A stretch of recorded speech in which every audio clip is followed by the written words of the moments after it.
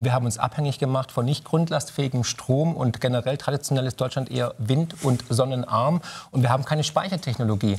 Und wir haben eigentlich das, was wirklich funktioniert, nämlich grundlastfähiger Atomstrom, aber auch Kohlestrom ad acta gelegt und hoffen jetzt irgendwie mit alten Methoden, mit Windrädern die deutsche Industrie am Laufen zu halten. Und das funktioniert nicht. Das merkt nicht nur der Bürger, sondern auch der Unternehmer. Und dahingehend war das leider eine historische Fehlentscheidung, unter anderem natürlich der CDU unter Merkel als auch der Ampelregierung.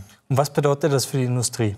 Natürlich wird es nicht mehr wettbewerbsfähig, weil andere Länder haben viel günstigeren Strompreis. Viele verwenden noch fossile Energieträger. Indien wird die nächsten 30 Jahre auf Kohle setzen. China baut Kohlekraftwerke, Atomkraftwerke. Selbst die Saudis bauen Atomkraftwerke, weil die sind auch CO2-arm und natürlich auch hocheffizient. Und man hat nicht die Probleme der, der, des Flatterstroms. Und dahingehend ähm, sehen wir einfach, dass immer mehr äh, Unternehmen entweder pleite gehen, abwandern. Wir sehen die energieintensiven Unternehmen 20 Prozent Produktionsrückgang. BASF ist nicht mehr wettbewerbsfähig. Mhm. Die Unternehmer leiden leiden unter dem hohen Strompreis und können einfach nicht mehr mit anderen Unternehmen aus anderen Ländern mit günstigerem Strom wettbewerbsfähig arbeiten. Über wie viele Arbeitsplätze sprechen wir denn alle. etwa? eigentlich alle. Also wir reden ja über, egal ob es ein, ein Bäcker ist oder ein Elektroinstallateur, egal ob es ein Konzern ist, ein mittelständisches Unternehmen, Metallverarbeitungen, alle leiden unter den hohen Strompreisen und sind nicht mehr kompetitiv gegenüber den Ausländern, wie zum Beispiel den Franzosen, die durch den Atomstrom viel günstigere Strompreise haben.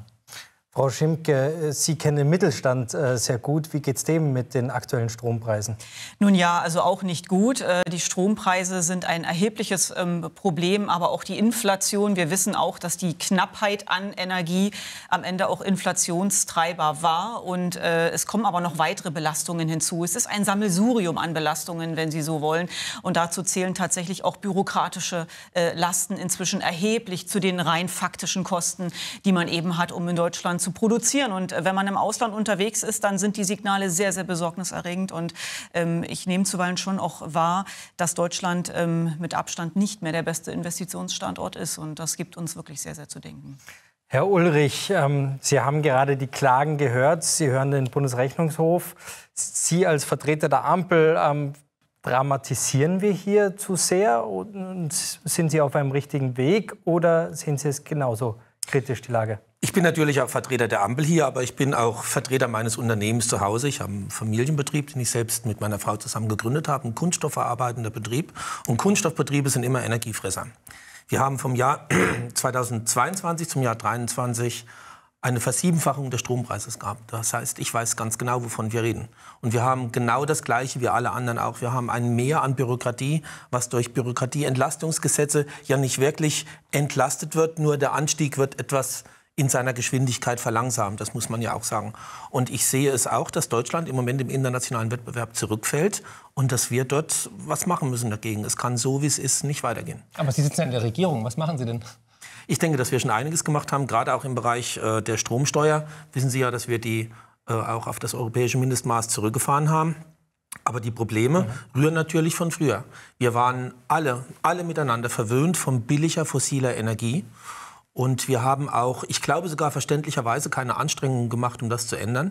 Weil auch wenn Frau Merkel irgendwann jemand gesagt hätte, wir müssen jetzt mal anfangen und die Energie teurer machen, das hätte man ja auch nicht einfach durchgehen lassen, auch die eigene Partei nicht. Darum haben wir alles so weitergemacht und gehofft, es wird schon ewig so weitergehen. Mhm. Und jetzt sind wir im Fokus des äh, Ukraine-Krieges mhm. und sehen dort das, was meiner Meinung nach in den nächsten vier, fünf Jahren sowieso gekommen wäre nämlich eine gewollte Verteuerung von Energie. Man kann sowas machen, wenn man sich als gesellschaftliche Aufgabe gestellt hat, eine Energiewende hinzukriegen. Aber wir machen das ja nicht als Wende, wir machen das ja als Revolution. Das geht zu schnell. Und dort werden, wenn wir so weitermachen, meiner Meinung nach auch viele auf der Strecke bleiben. Und, das, und genau das kritisiert ja der Bundesrechnungshof. Und der Wirtschaftsminister reagiert so darauf. Da hören wir mal rein.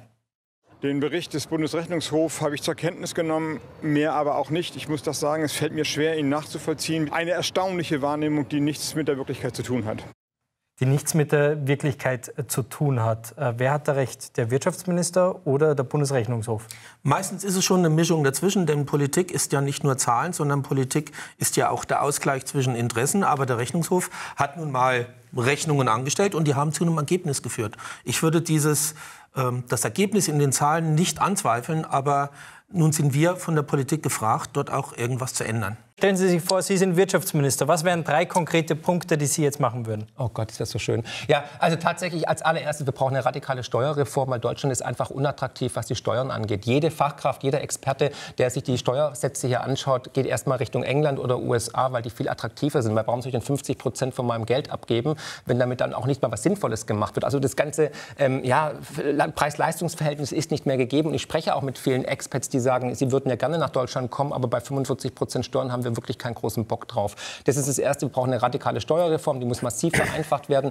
Weniger Bürokratie. Ich bin auch gegen, ähm, ich bin auch gegen die Berufspolitiker, also nicht gegen die Anwesenden hier, äh, bei allem Respekt, aber es geht einfach darum, wir brauchen eine Amtszeitbeschränkung, wir brauchen Qualifikation, wir brauchen eine Art Numerus Clausus für Politiker, dass die auch wirklich einen Berufs- und Studienabschluss vielleicht vorweisen können. Weil was wir jetzt in den letzten Jahren erlebt haben, ist wirklich ähm, nicht mehr zu fassen und die Menschen da draußen verstehen es auch nicht mehr. Deswegen entstehen ja neue Parteien, deswegen haben die Populisten Zulauf, weil die Bevölkerung nicht mehr verstehen kann, was da überhaupt passiert, wie so eine Negativauslese auch passiert. Wir erleben ja den Dunning-Kruger-Effekt, ne? dass dann praktisch irgendwelche Menschen auf einmal wichtige Positionen haben, die Zukunft dieses Landes bestimmen. Das ist mhm. absurd teilweise. Und was Punkt 3?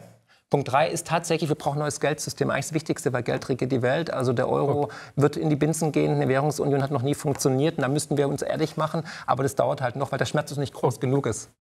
Die Diskussion ging natürlich noch weiter. Die ganze Folge stimmt der Nachrichtentalk. Die bekommt ihr hier. Einfach draufklicken und solltet ihr es noch nicht getan haben, unbedingt unseren Kanal abonnieren. Nämlich hier, dort gibt es über 100 weitere Episoden.